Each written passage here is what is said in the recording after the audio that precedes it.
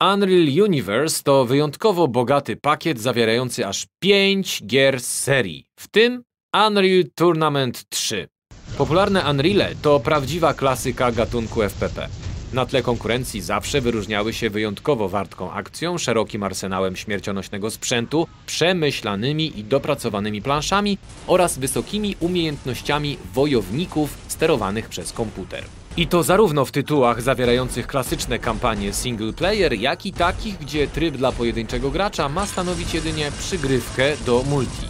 Miłośnicy tradycyjnych FPP powinni zainteresować się zwłaszcza Unreal wraz z dodatkiem Return to Napali oraz Unreal 2 The Awakening. Sedno tych tytułów stanowią bowiem typowe kampanie składające się z szeregu różnorodnych, dopracowanych i ciekawych misji. Czasie ich przechodzenia zwalczamy całe masy różnorodnych przeciwników. Od małych, słabych i generalnie niegroźnych, poprzez dość silnych, mało wytrzymałych, ale sprytnych i przez to stanowiących wyzwanie, aż po prawdziwe bestie, które nie dość, że giną dopiero po wpakowaniu kilku magazynków, to jeszcze same używają wyjątkowo śmiercionośnych broni. Niewątpliwą zaletą wspomnianych tytułów jest również wiarygodna, ciekawa, wciągająca i lekko przekorna fabuła. Pierwszym Unrealu wcielamy się w więźnia ocalałego z katastrofy statku, który stara się przeżyć na niegościnnej planecie i myśli tylko o sobie. W The Awakening przeciwnie, kierujemy postacią policjanta, który wplątany w międzygwiezdny konflikt zbrojny stara się zapewnić bezpieczeństwo milionom cywili. Miłośnicy singla na pewno będą w niebo wzięci.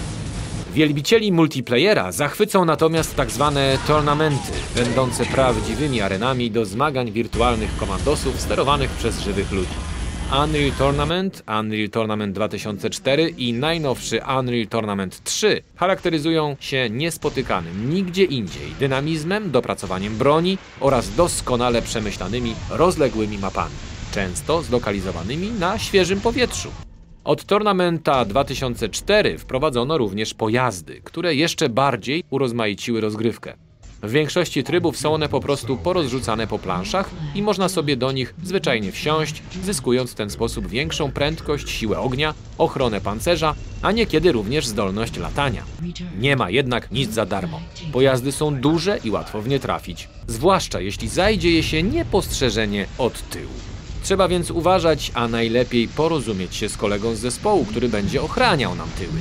Kooperacja daje często więcej frajdy niż współzawodnictwo. Twórcy serii, rozumiejąc to, wprowadzili do Unreal Tournament 3 specjalny tryb, w którym możemy wraz z kolegami zwalczać komandosów sterowanych przez komputer.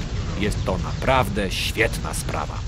Unreal Universe to w chwili obecnej kompletne wydanie bodajże najlepszego shootera FPP. Lepszego pakietu nie znajdziesz.